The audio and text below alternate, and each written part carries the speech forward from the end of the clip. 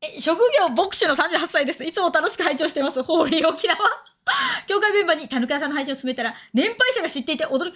あ、牧師が38歳の牧師がさ、田中の配信を年配者に進める。え、これ、これほんまに大丈夫？やばすぎやん。情報が 錯綜してる。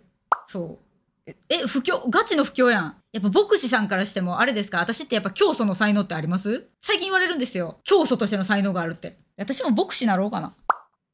え、関係ない？ないか？ないんかな？何時ホビットタレ 時代が時代ならそうですね。焼かれてますね。貼り付けの上焼かれてますね。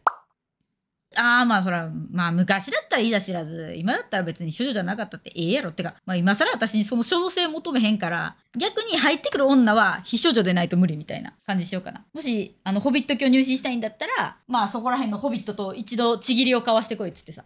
入信したい女にホビットとちぎりを交わさせることで、ホビットの土手卒業も促進できる。あの、母さんを進めた話をしたら、仲間の牧師には怒る。当たり前だろ、お前、牧師になった38にまたやっていいことと悪いことの、見分けもつかんのか、お前は。